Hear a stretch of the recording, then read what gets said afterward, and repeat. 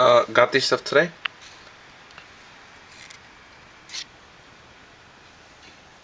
It has a crease, um, kind of minor, not common shrink.